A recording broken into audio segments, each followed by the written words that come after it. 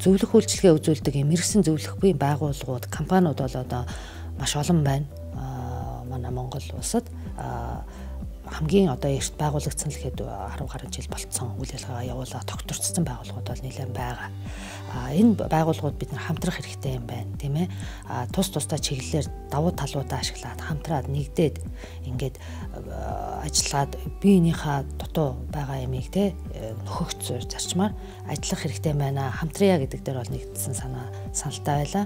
А энэнийхээ үүднээс бид нэгдсэн мэдээллийн сантай болох хэрэгтэй байна. Бизнес эхэлж байгаа хүнд бол яалтч байхгүй одоо алдаа эрсдэл багтаа явахын тулд бол тодорхой хэмжээний зөвлөх үйлчлэг зааш хэрэгтэй байдаг. Тийм учраас одоо зөвлөх үйлчлэгээний одоо утга учир бол одоо бизнес хийх гэж байгаа хүнийг тийм ээ эрсдлээс хамгаалах. За бизнес нь тогтвортой урт удаан хугацаанд амжилттай явахын тулд гол хүнд суурин л болно гэж үзэж байгаа юм л. За мэдээж одоо зөвлөх үйлчлэгээ авсны үр дүнг бол тухайн бизнесийн одоо амжилтаар тодорхойлох дээ тийм ээ.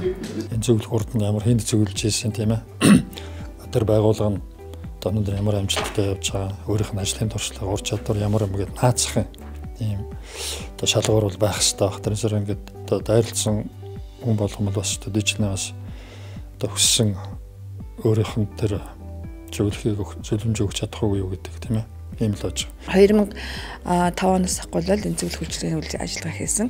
Одоо бид нар зөвлөсөн нэлээ 50 50-аад таачих нүшүүд байгаа.